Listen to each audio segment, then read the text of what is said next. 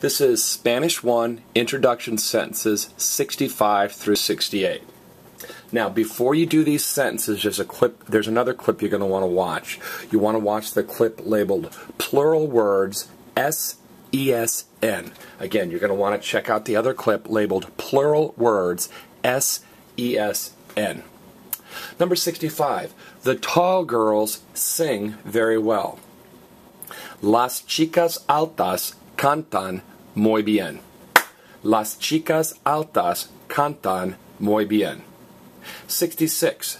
The short boys dance well also. Los chicos bajos bailan bien también. Los chicos bajos bailan bien también.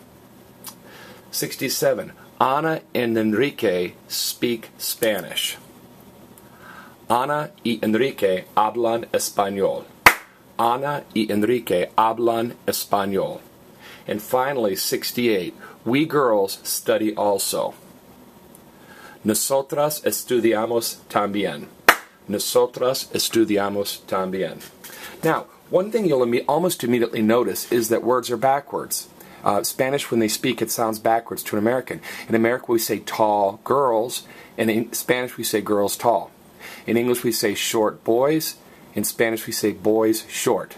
Okay, so remember, adjectives generally follow. In America, we say uh, big river. In Spanish, they say river big, which is Rio Grande. In English, we say white house. In Spanish, they say house white. So just remember, description words generally follow nouns. Okay, now here's the problem. The ends in s. Chicas ends in s. Okay, tall, altas, ends in an S. So you make these things plural by adding S. But notice, you make sing plural by adding an N, because it's an action.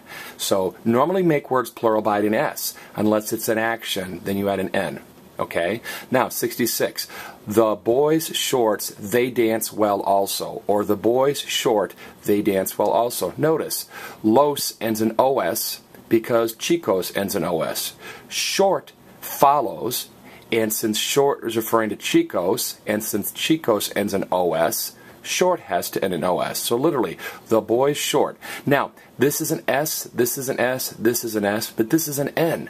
Why does bailan end with an N? Because by dancing is an action. Everybody say action, action. And how do you make actions plural? You add an N. Oh, I get it, Mr. Hult. Most of the time to make words plural, you add an S. Right. When and only when do you add an N to make a word plural? If it's an action. How am I going to remember that? Everybody say action. Action. What's the last letter of action? N. So you make an action plural by adding an N. Now, Ana and Enrique speak Spanish. Now, it's the two of them together. So it's Ana and Enrique. They speak Spanish. N means they they speak Spanish. Okay? Now, finally, if you just said estudiamos también, that could mean we boys study or we girls study. So remember, Spanish is spoken quickly, so they say things twice. They don't just say she speaks, they say she she speaks. They don't just say we need to go to the bathroom, they say we we need to go to the bathroom. So don't just say estudiamos también.